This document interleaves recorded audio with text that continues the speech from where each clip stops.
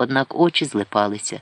Поспи трохи, порадив терпн імператорові, коли побачив, що той засинає на ходу. Ні, відказав той, треба вивчити ще одну мелодію. Нерон ковтнув гарячої води. Якщо задрімаю, розбуди. Гаразд, імператоре. Обов'язково розбуди. А якщо помилюся, то вдар по пальцях. Побий мене, втямив ось цим батіжком.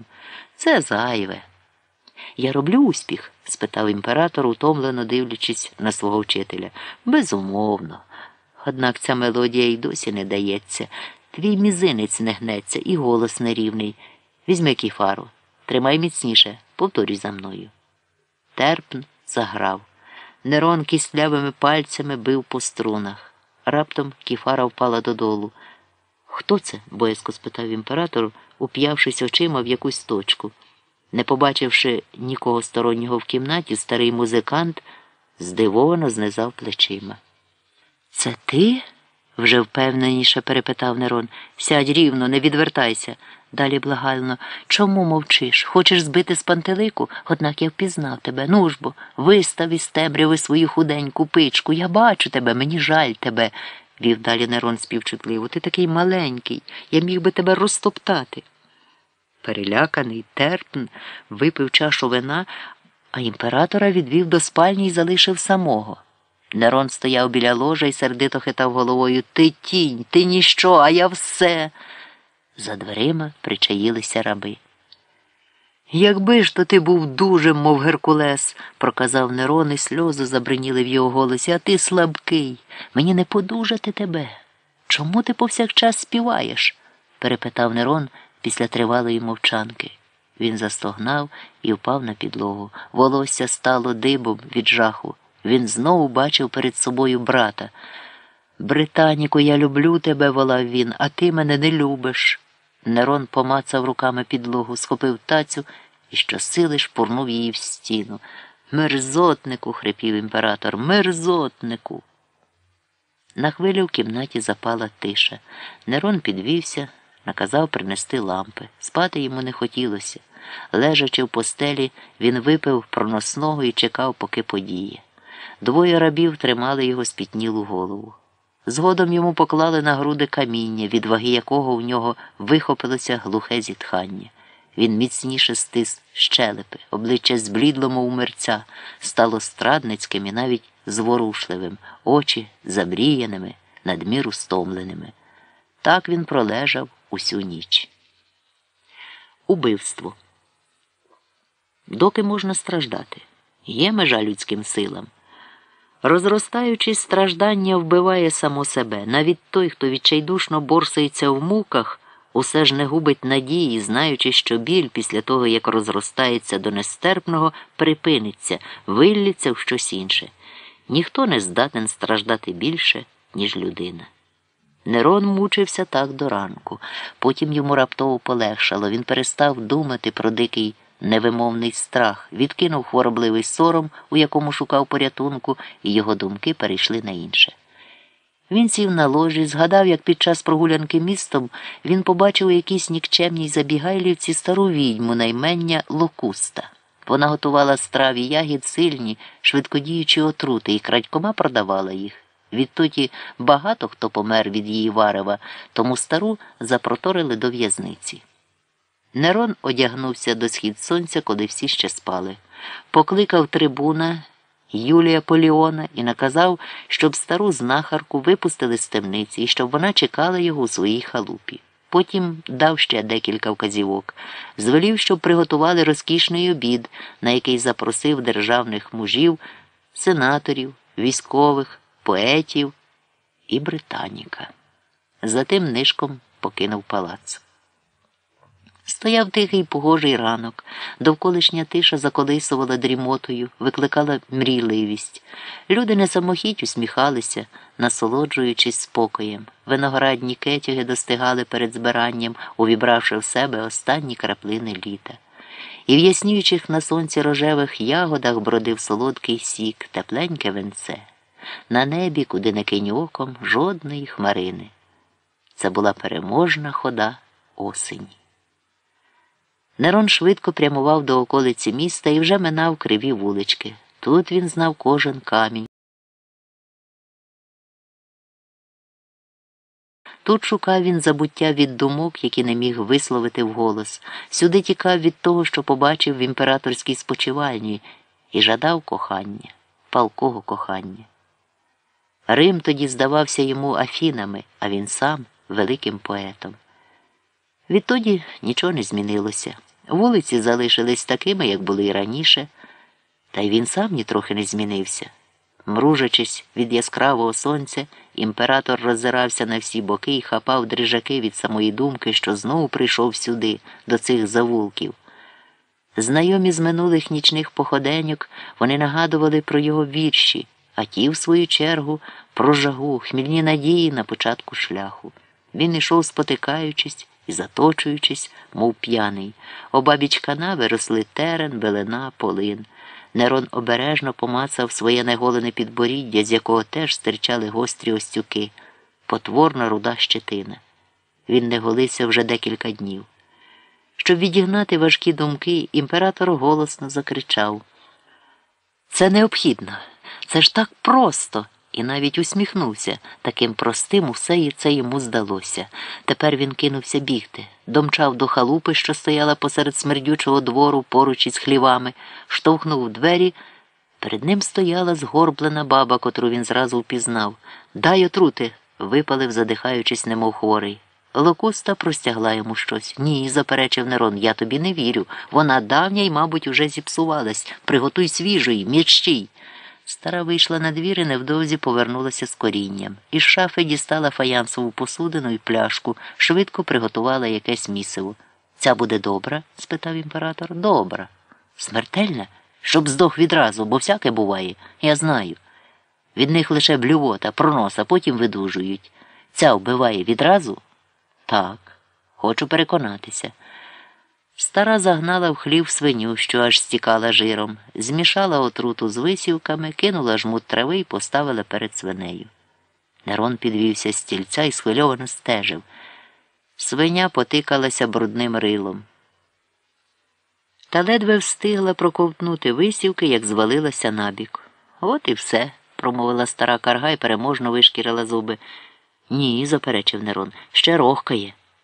За хвилину свиня затихла. Імператор підозріло схилився над нею. Раптом свиня судомно дригнула ногами. Ой. скрикнув Нерон, неначе вгледів привид. Нажахано відскочив до стіни.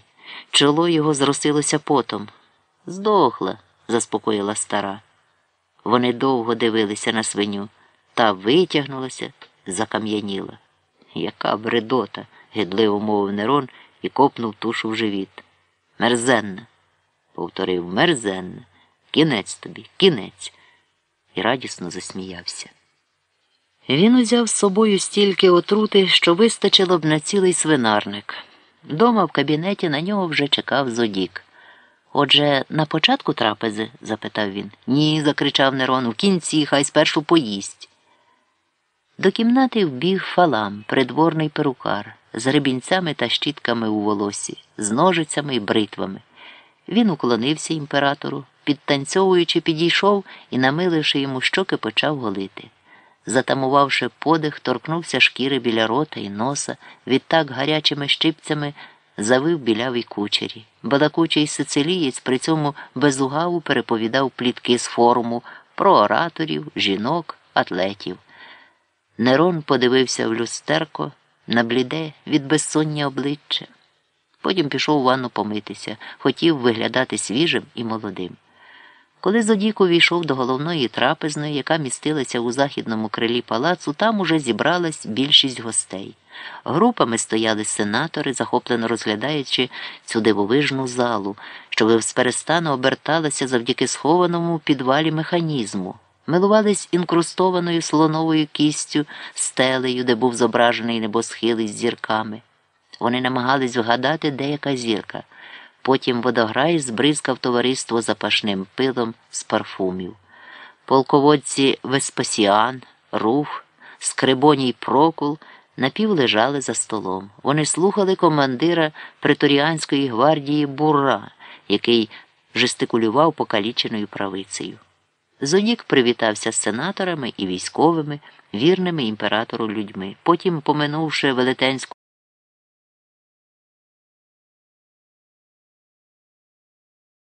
З'явилася пишно, яскраво вбрана, ніби пава сонячного дня Агріппіна. Вона була зодягнена в густо розшиту сріблом бузкову сукню.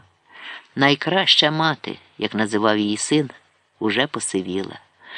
На скроні спадало декілька сріблястих пасом, які вона майстерно завила і прикрила вуаллю, щоб виглядати молодшою. Збляклі вуста теж підмалювала.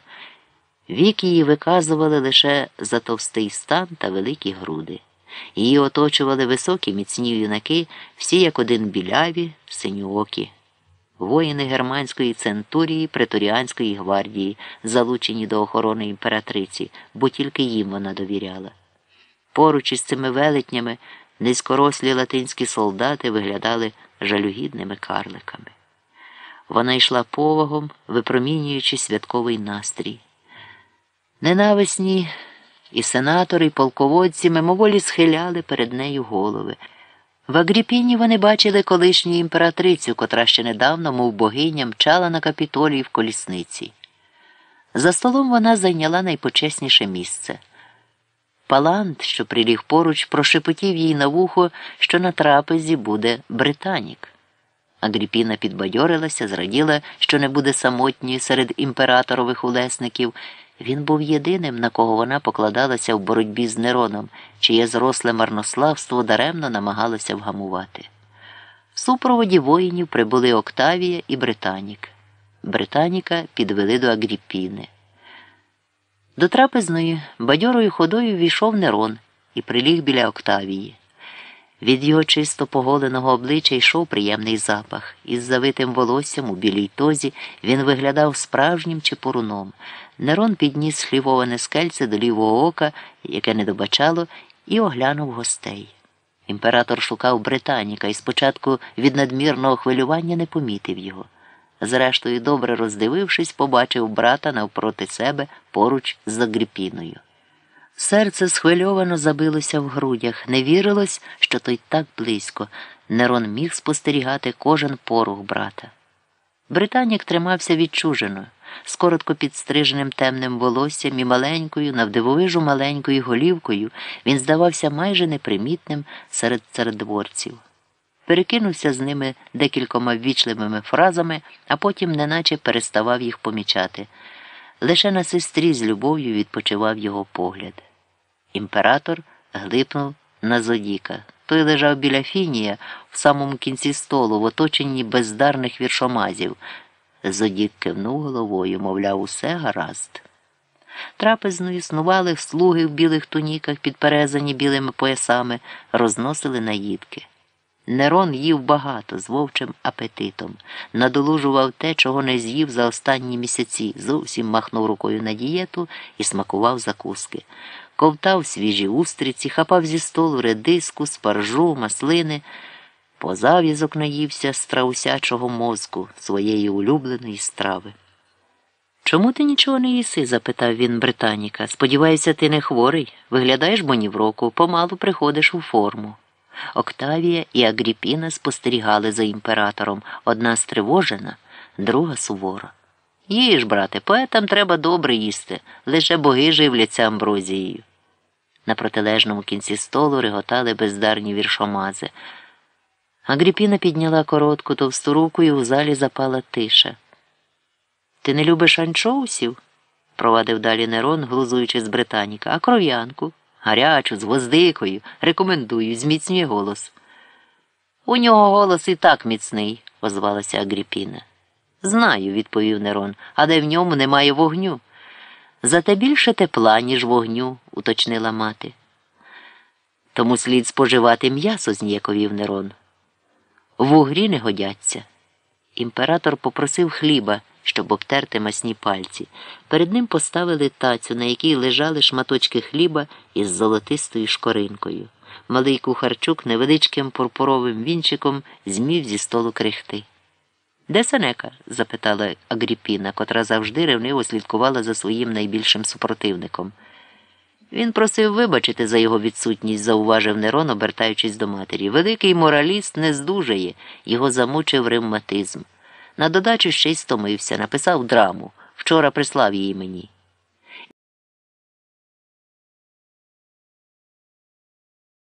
Як завжди, в його стилі, відповів імператор, повно банальності і пафосу. Це найкраща річ. Він уже старий, виписався.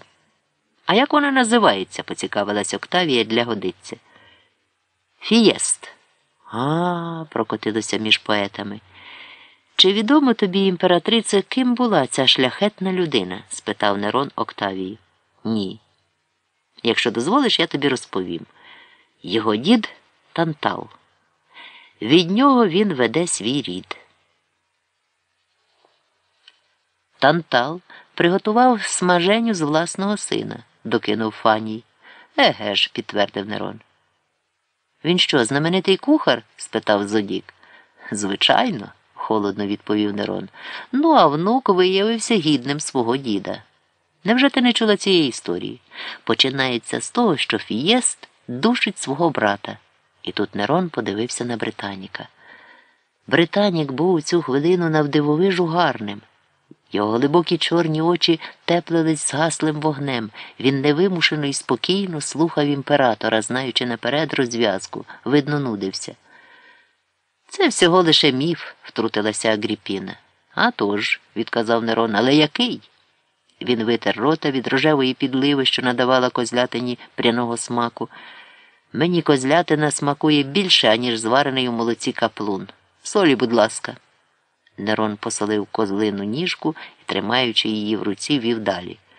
Фієст і справді був непоганим парубком та занадто любив жінок. Він звабив дружину свого брата Атрея, а та народила одного дітей.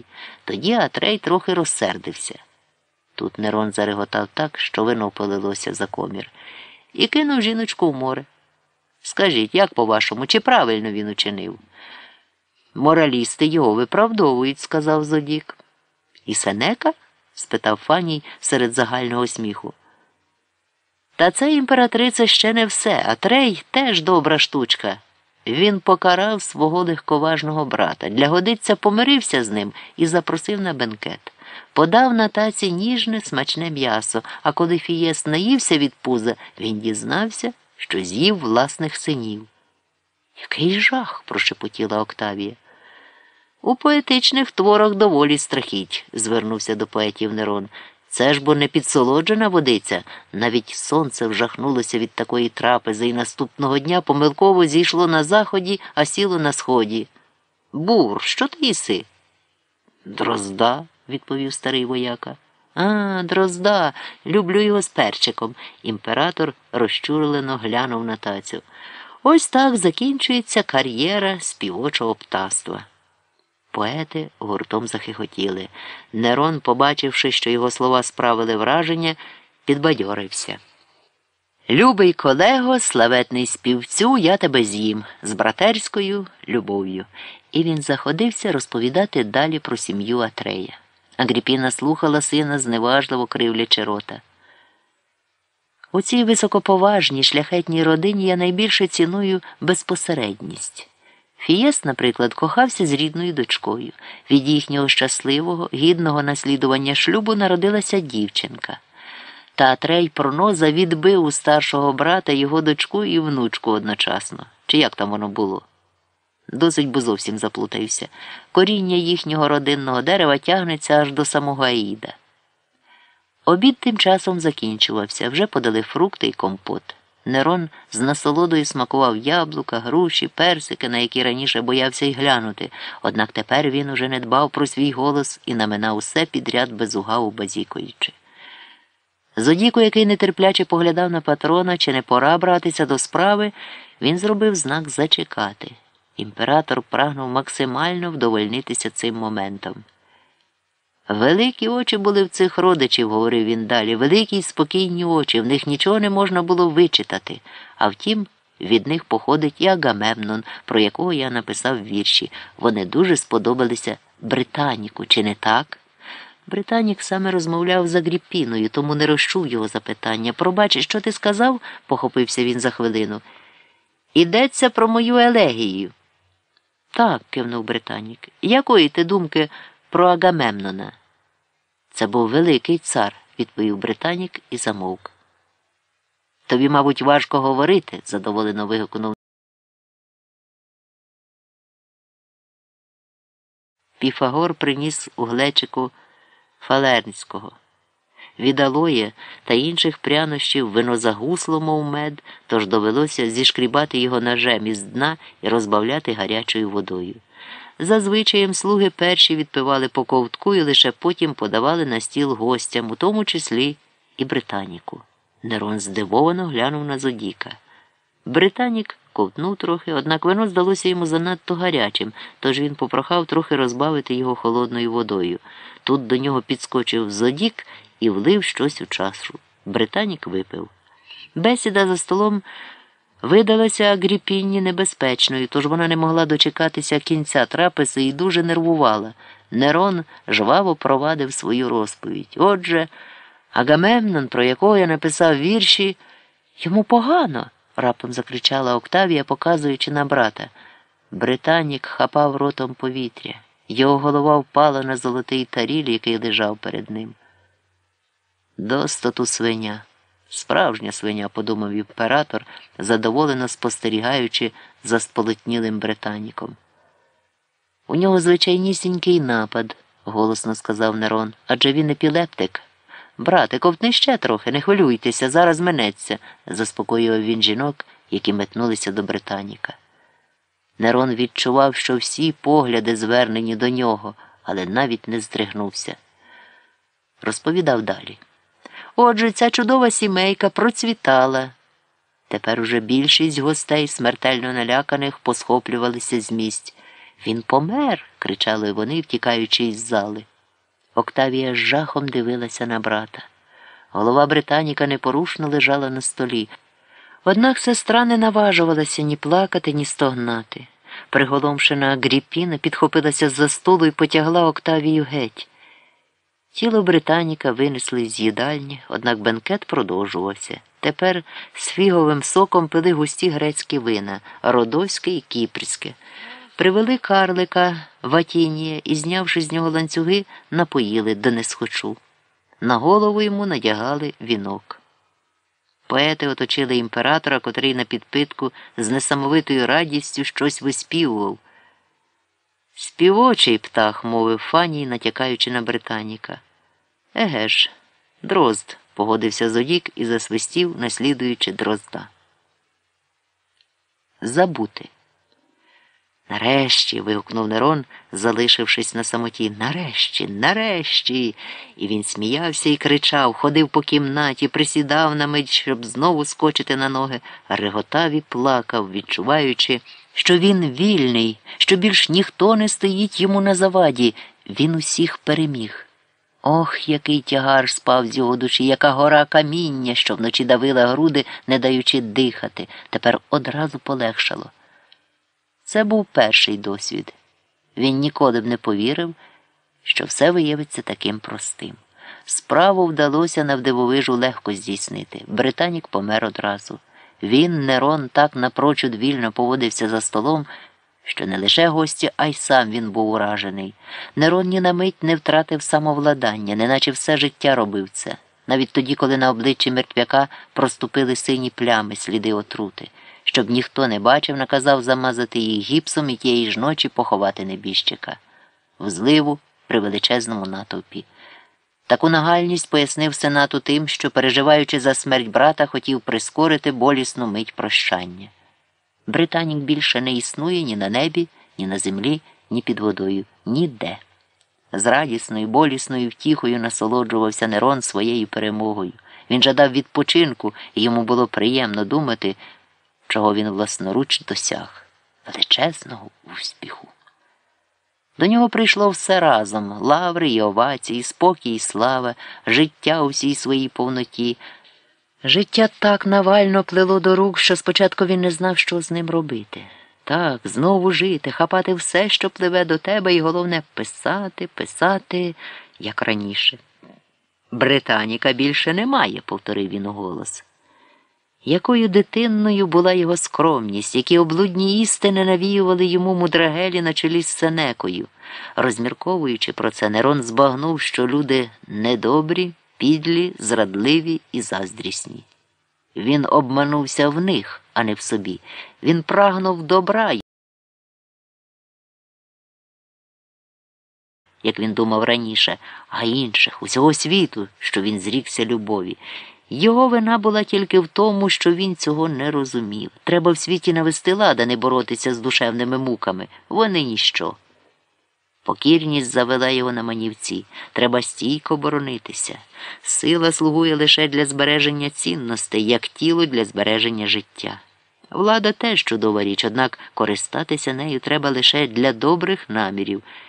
Чи є ціль прекрасніша, ніж у нього? Щоб спокійно говорити, він оточить себе залізною стіною. Без такого захисту і поет загине, хоч би який талановитий він був. Він навчився говорити твердо і різко, безапеляційно придушуючи будь-яку думку, що виникала в голові співбесідника, владарював по-справжньому. Імператорська влада зробить те, на що він сам не здатен. Він став цікавитися людьми, на яких до цього не зважав і які, зрештою, були тільки публікою для поета. Він уперше відчув себе всевладним імператором і був від цього щасливий. Матері він не пробачив слів, сказаних на бенкеті. У коротенькому наказі повідомив їй, що вона повинна відмовитися від своїх германських охоронців і, залишивши палац, переселитись у будинок Антонії. Агріпіна спробувала була вблагати його, однак імператор, приймаючи її при озброєній варті, наполягав на своєму. Підвівши голову, відчужено глянув на неї. Нерон змінився, мов той актор, що вбрався у театральний костюм. Він неймовірно погладшав. Відтоді, як облишив морити себе голодом і став їсти все, чого душа забажає, на тілі з'явилися жирові подушки, спина і шия вкрилися рожевими м'ясистими складками, відросло друге підборіддя, обличчя ж було, мов у непроникній масці, що світилося неземним блиском, усвідомленням влади, пихою, впевненістю, яка бентежила підлеглих. Агріпіна скорилася і виїхала з палацу.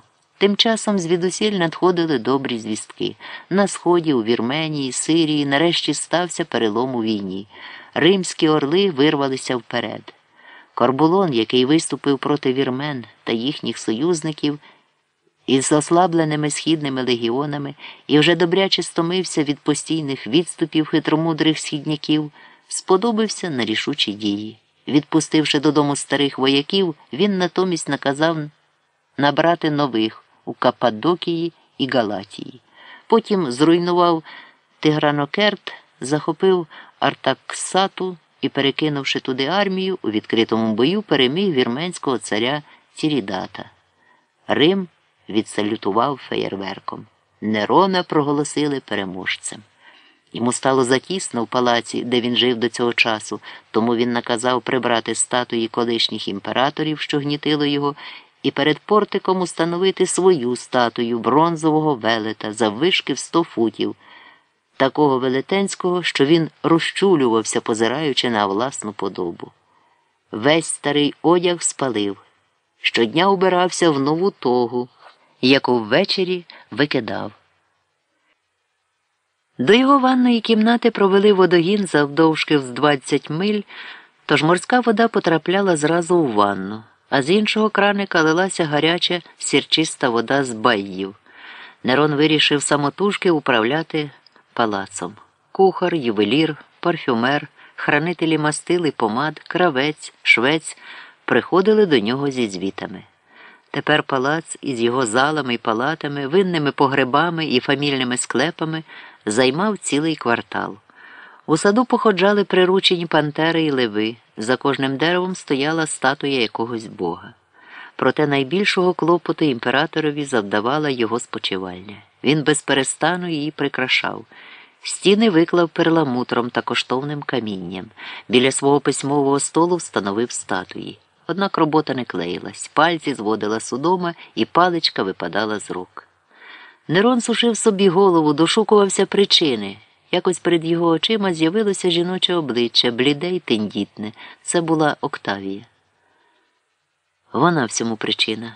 Лише вона, голосно промовив він і здивувався, що не збагнув цього раніше. Він ніколи не любив дружину, навіть після одруження. Відтоді байдужість переросла в зневагу, і від кожного дотику до неї Нерон здригався, неначе від болю. Октавія гладенько зачісувала своє чорне волосся, з її обличчя на нього проглядало якесь відчуження.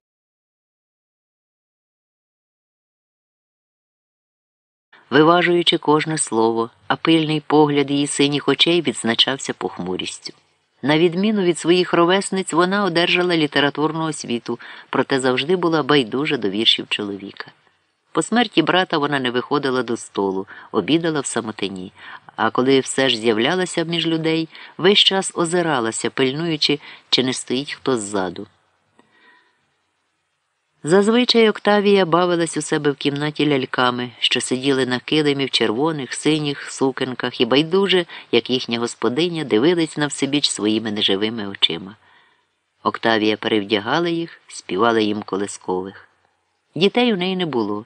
Під час луперкалій, коли безплідних жінок стьобають батогами, імператор наказав вивести її на двір і сам верховний жрець торкнувся батогом її попереку, але й це не допомогло. Безплідна, казав Нерон, і мене робить таким. Він іще погано звідав жінок, лише їхні прісні поцілунки та нудні обійми. Був певен, що його талант, прагнення слави губить Октавія. Від її холодності в палаці стигне повітря, в ньому самому гасне полум'я. Незадоволена душа імператора прагнула радощів. Він мріяв про кохання, яке спроможне розтопити в людині те, що не може розтопити ніщо, про втому розпалених тіл, сердечний жар, який надихає на вірші. А що йому може дати Октавія? Нерон зневажливо махнув рукою. Зодік з Фанієм багато торочать про кохання, однак вони йому вже набридли. Поети товкли одне і те ж і напрямки вимагали в нього грошей. Імператор жадав іншого товариства. Він хотів, аби його розважали, звеселяли ошатно вбрані, дотепні, вродливі юнаки. Грек Епафродіт, імператорський секретар, уміло підібрав таке товариство, де різні люди вдало доповнювали один одного. Улюбленець римського жіноцтва Паріс був втіленням успіху. Переписувач Доріфор уособлював красу, неотесаний моряк Анікет, колишній Неронів вихователь, грубу чоловічу силу. Сенеціон умів добре пити, Косіон розповідати анекдоти, Анней Серен, родич Сенеки, виступав у ролі слухача. Він був тишко незамінний у будь-якій компанії і був скрізь бажаний завдяки своїй відданості, вірності і небаченим лінощам. Жартівником був Отон, вітрогон, котрий з блискучим гумором переповідав пригоди, що трапилися з ним у двох частинах світу. Серед них імператор почувався якнайкраще, йому було легко в оточенні нових друзів. Завдяки їхнім приємним манерам час минав непомітно, до того ж вони не плели інтриг, як письменники, тому життя здавалося йому тепер стерпним. Найбільше Нерон любив квестора Отона, нащадка знатної консульської родини, який не знав ліку грошам, зневажав філософію, однак був таким епікурейцем, що перевершив навіть самого засновника цієї школи. На його вишневих вустах Повсякчас грала задоволена усмішка. Він часто повторював двозначні жарти, почуті в театрі від мімів. Їв та пив небагато, однак у коханні був ненаситний. Нерона він просто зачарував, розповідаючи про свої альковні історії, перераховуючи коханок, молоденьких дівчат і зрілих матрон, поважних дружин сенаторів і булочниць, жінок шевців, чиї чоловіки рогоності ні про що не здогадувалися. Одного разу Епафродіт привів із собою жінок. Після трапези, коли гості вмостилися на подушках, перед ними пройшлися славетні красуні. Відомі гетери і жінки зі знатних патриціанських сімей, які отримали таємне запрошення. Нерон байдуже спостерігав за ними, аж поки кинув погляд на рабиню, що притулилася в кутку. Вона була ні сумна, ні весела не прагнула сподобатись, як інші жінки, що шукали його ласки, лише невидющими очима дивилася поперед себе. Від неї, неначе від родючої землі, віяло спокоєм. Він покликав її до себе. В її обіймах відчув таку жагу, що живила його, як хліб, і як вода гамувала спрагу. Повернувшись додому, він зміряв поглядом Октавію і задоволено відзначив вона безмежно принижена. Однак інші втіхи були йому недоступні. Жінки цікавили його лише тоді, коли він їх бачив, а потому швидко забував. Він думав про них, відчував тільки одне добре, що вони є, але не більше. Його пристрасть жила лише одним днем. Вона не мала ні минулого, ні прийдешнього. Невже це кохання? спитав він Епафродіта. Де ж слова натхнення? Чому я не стогну і не співаю, як інші поети? Він знову марнував час серед друзів, котрі вже стомилися його розважати. Боявся залишитись один. Якщо раніше любив самотність, то тепер її лякався. Весь час хотів чути чийсь голос. Тиша його гнітила. Епафродіт мав супроводжувати його до ложа і там розмовляти з ним, аж поки імператор засинав. Жінка в залі для глядачів. Він часто відвідував театр. Якось увечері подався з Епафродітом і Парісом до театру Марцела. Зайняв там ліву ложу, яка була біля сцени поруч з оркестрою. Театр був переповнений. Три велетенські яруси займали глядачі. Це були кремезні римляни, вигодовані молоком вовчиці, суворолиці, з чорним скуйовдженим жорстким волоссям. З появою імператора всі вскочили на ноги, викинувши вперед руки на знак вітання, в нестямі викрикували його ім'я. Серед цього дикого виття Нерон стояв щасливий і гордий, потім сам протягнув руку до галерки, і тоді людський рев вибухнув з новою силою. Така честь випадала лише Вергілію. Опустивши решітку в ложі, Нерон улігся на подушки. Паріс і Епафродіт сиділи поруч. У театрі грали всілякі маленькі сценки. Час великих трагедій уже минув. Це були уривки з фарсів, які звеселяли публіку, пісеньки в супроводі флейти і сороміцькі пантомімки. Тепер тільки це подобалося глядачам. Вистава почалася. На сцену вийшло двоє акторів. Один грав гладкого, другий худого. Вони не вельми дотепно насміхалися один з одного, показуючи язики, а наприкінці побилися. Галерка шаленіла, театр гримів од реготу. Нудно, мовив Нерон, весь час одне й те саме. Що ще буде? Паріс, котрий цього вечора не грав, пояснив нічого цікавого, певно, чекати не доведеться. Антіох і Терпн виконають пісні на кіфарі. У них приблизно однакова кількість шанувальників. Однак ні ті, ні інші не згуртовані. Чуєш? Антіох вийшов на сцену, його зустріли оплесками і свистом. Його шанувальники вступили в боротьбу з супротивниками. Але овації і свист скоро замовкли, запанувала тиша. А далі, далі пантоміма і нарешті паммен.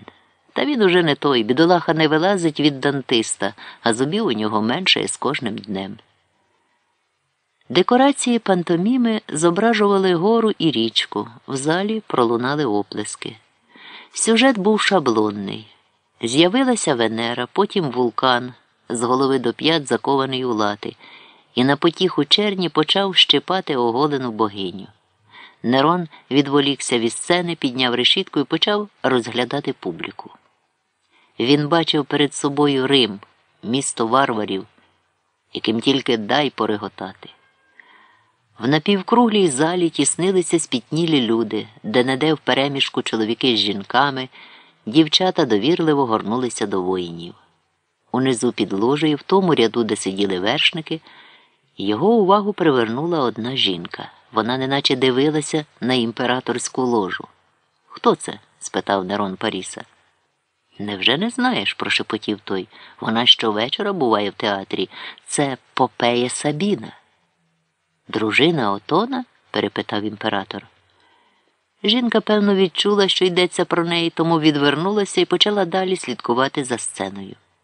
Прозора вуаль, що прикривала обличчя, залишала відкритим лише маленький рот з примхливим вигином губ. Попея, повторив її ім'я Нерон.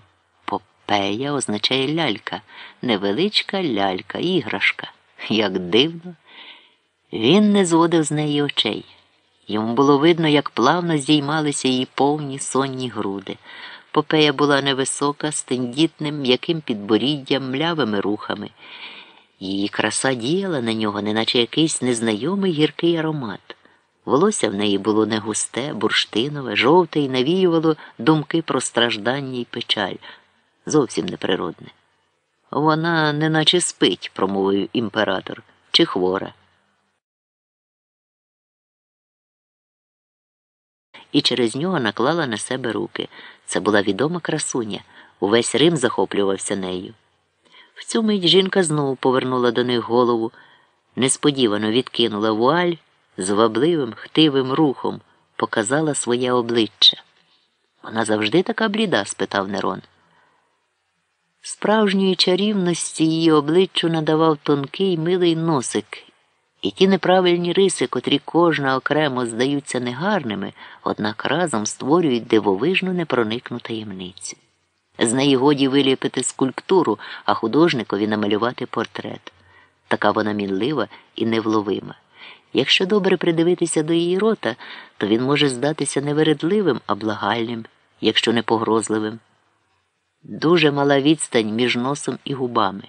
Низький лоб збуджує невиразне бажання, очі сірі, в них приховані тривожні мрії. Форми витончені, тому пропорції тіла елегантні. Коли дивишся на Попею, згадується красень, романтичний коханець її матері, і щось дивне хвилює душу. Вона вся випромінює щедрість збіглого літа, неначе молода осінь, що мліє під тягарем жагучих споменів. Вона знову низько опустила вуаль, лише губи лишилися відкритими. Біля неї хтось сидить, зауважив імператор. А літір. Хто це? Актор. Ця жінка обожнює мистецтво. Вона, певно, не римлянка, а грекиня, промовив Нерон. Іудейка, якщо мене не зраджує пам'ять. Іудеї теж ідолопоклонники, по хвилі озвався імператор, такі ж небезпечні й шалені, як християни. Тіберій вислав з Риму чотири тисячі іудеїв. Чому вона не дивиться сюди? нетерпляче спитав він. Пантоміма скінчилася, на сцену вийшов старий співак, у минулому улюбленець публіки, а зараз жалюгідна руїна, достойний хіба що поваги. Нерон не зводив очей з попеї. Паріс, завваживши це, не вгавав. Першим її чоловіком був Руфій Кріспін. Вона його покинула. Потім одружилася вдруге. Хочу її завтра бачити, сказав Нерон. Паріс спустився в партер, сів біля Попеї і переказав їй імператорове запрошення. Попея Сабіна. Октавія ще цвіла, зрізаний під корінь бутону склянці з водою, давно зів'ялий та все ж прекрасний. Попея з'явилася в палаці наступного дня. Я прийшла потайки, повідомила вона Нерона, ніхто не знає. Отон теж. Вона боязко йшла залою, мов полохливе дівча. Нерон подумав чарівна і дивна, але не така, як учора. Здаля, здається, незбагненною, а насправді зовсім проста. І легко вірити, вона щира. На носі декілька веснянок, які він не завважив у театрі. У її туалеті з вишуканого шовку жодної стрічки чи прикраси, коштовностей не носить, корсет також, груди звабливо випинаються під тканиною. Байдужа до косметики, мати вчила її, що фарбуються лише вульгарні жінки. З притаманною шляхетністю древньої династії жінок, досвідчених у коханні, вона від цього утримується, тільки вії трохи підфарбовані, і на повіках сині тіні. До візиту вона готувалася недовго. Дома випила декілька краплин з будливого напою, який дав їй лікар, щоб вона була свіжою і жвавою, а в ношах перед мармуровими сходами палацу дістала зі скриньки гілочку мирта і пожувала її. Дихання стало пахучим. Попея давно чекала цієї миті, наперед знала, що вона неодмінно настане, тому й ходила в театр. Від палацової розкоші в неї йде обертом голова, однак вона тримає себе в руках, байдуже дивиться на імператора. У Нерона серце рветься з грудей. Він хоче щось сказати, та в горлі пересохло. Сідай. Тільки й може вичавити з себе, показуючи на м'який диван. Сторожка Попея не сідає туди, а прямує до ослінчика, що стоїть віддалік, примощується на ньому. Обоє відчувають, що це зухвалість і неповага але відчувають також, що це створює особливу атмосферу і, попри все, зближує їх, неймовірно зближує. Імператор радий, він може невимушено бесідувати з нею. Чому не відкинеш вуаль? Я хочу. Я уявляв тебе іншою. Ти розчарувався. Думав, що ти смутніша. Учора в театрі ти була смутна і гарна. Попей сміється. Голос у неї глухуватий, він неначе завмирає, пробиваючись через гарячу млість у грудях. Якось я, плачучи, спостерігала за собою, невимушено починає Попея. Перед дзеркалом дивилася, як перлини стікають по моєму обличчю. Дивно, сльози солоні, як море. Останні слова вона вимовляє по-грецькому. Ти знаєш грецьку? Звичайно, це майже рідна моя мова. Мої няня і вихователі були греки. Мама теж добре володіла грецькою. Розмова точиться далі. Попея переходить на грецьку, і імператор щасливий слухати цю літературну мову, яка була модною в Римі і більше шанувалася, ніж вульгарна латинь. Вони розмовляють, сміються, знову розмовляють, немов несуться в заквітченому човні поміж струменів рясного дощу, а під ними шумить піна, що сніжно нашіптують хвилі. Як дивно, каже збуджений імператор, і очі його палають. Усе, що би ти не сказала, цікаво. Більшість жінок сидять за прядкою, годують дітей, нудьгують, і мене огортає смуток. Вони, певне, бояться мене, дуже поважають. Їм бракує сміливості, а ти бачу, хоробра. Твоя мова лине вільно і витончено, з тобою мені добре хочеться розмовляти. Попея пропускає повз вуха комплімент, поволі оговтується, зітхає раз, неначе хоче щось сказати, і значуще вмовкає. Та її мовчанка не гнітить. Ти стривожена, мовить імператор. Я боюся. Тут нікого немає, озирається жінка, потім довірливо веде далі. Я їхала в закритій лектиці за вулками. Якщо він дізнається, будуть непереливки. Хто? Попея не відповідає. Послухай, як б'ється моє серце, мовить по хвилі. Нерон ніжно торкається рукою її грудей, серце Попеї несамовито калатає. Розмова чужою мовою надає імператору відваги.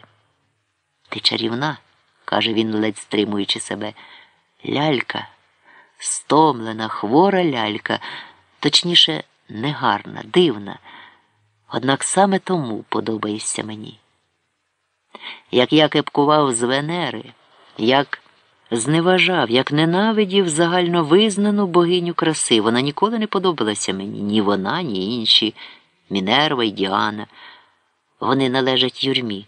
Все, що досконале і рівне, не може бути гарним, воно потворне.